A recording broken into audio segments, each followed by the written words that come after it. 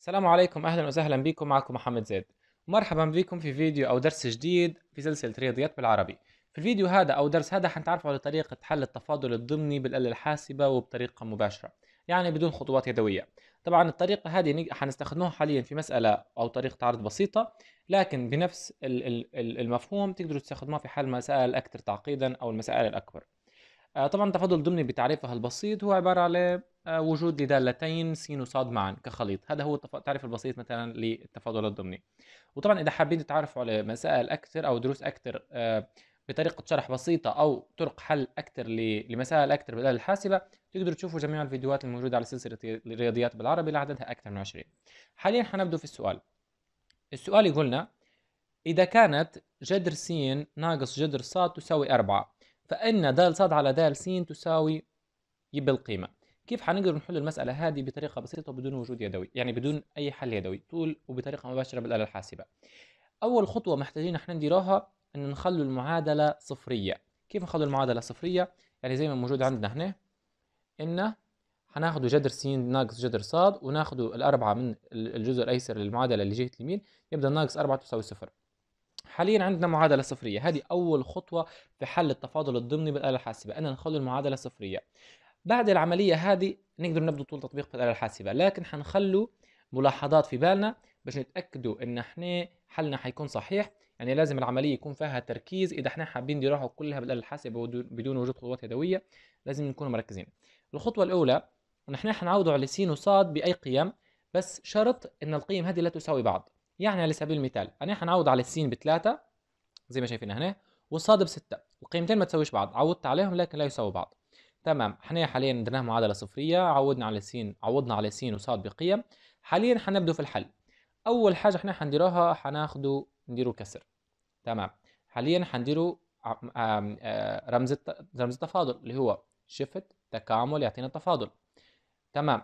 إحنا عندنا جذر مثلا س ناقص جذر مثلا صاد يمشوا يمين ناقص الأكيدة اللي هي أربعة. تمام. لو هنا س وصاد حنقول لكم شنو حنعبوا عليهم. خلونا نمشوا هنا.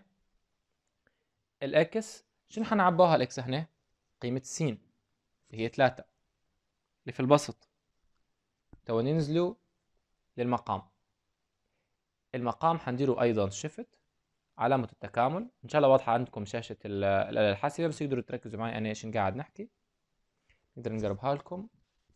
عنا شفت علامة التكامل بجتنا علامة التفاضل أو شفت تكامل. بعدين حنكتبوا عندنا جذر حنعرفوا جذر شني؟ نمشوا يمين. ناقص جذر نمشوا يمين. ناقص الأكيد عندنا اللي هو القيمة اللي هي أربعة. الإكس إحنا إيش حنعوض عليها؟ حنعوض عليها بقيمة الصاد اللي هي ستة. تمام. طيب هنا عندنا آخر ملاحظتين اللي هي في البسط س نعوض عليها بـ x اللي هي إحنا قيمتها 6 وفي المقام الصاد هي اللي حنعوض عليها بـ x والسين نحط قيمتها. نجو نشوفوا كيف. نجو للمق... للبسط. حنجو لأول متغ... اللي قيمة عندنا في البسط.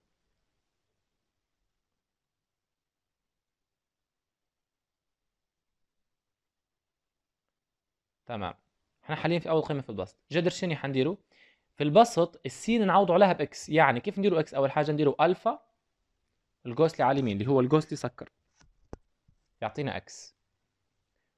والصاد حنعوض عليها بقيمتها. قديش قيمة الصاد؟ ستة. نجو للقيمة الثانية تحت الجذر ونديروها ستة. ننزلوا للمقام. حيكون سهل حاليا لأن فهمنا العمل. كيف؟ نجو نعوضوا على الصاد هي اللي حنعوض عليها بـ x والسين بقيمتها. يعني حتكون ثلاثة ألفا القوس لي سكر اللي هي x اللي هي هذا الصاد ناقص أربعة ونديروا يساوي.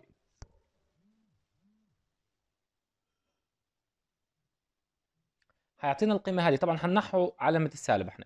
حنخلوها مثلا 1.41 okay إحنا كيف حنستفيدوا من الحل؟ هذا إذا هو الخيار السؤال خيار من متعدد إذا هو اختيار من متعدد حطينا مثلا هو أربع خيارات مثلا واحد من الخيارات آه فإن د ص على د س تساوي آه جذر س ص أو جذر س ناقص ص أو جذر س على ص حنعوضه على قيمة الصاد بالقيمة اللي أعطيناها لها اللي هي 6 والسين بالقيمة اللي أعطيناها لها اللي هي 3 ونديره يساوي. نفس المسألة اللي هو عاطيها لنا حناخدوها حنعوضه على س وصاد بالقيم اللي إحنا حل... استخدمناها في الحل ونشوف الناتج.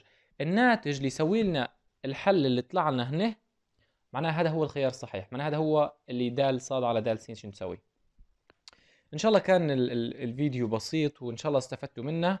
آه تقدروا تشاركوه مع أي حد تحسوا إنه هو حيستفيد جدا من حل آه تفاضل الضمني ويسهل عليه في الامتحانات أو في طرق حل.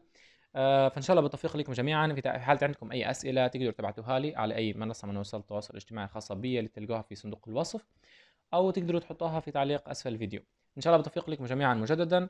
آه تحياتي والسلام عليكم ورحمة الله تعالى وبركاته.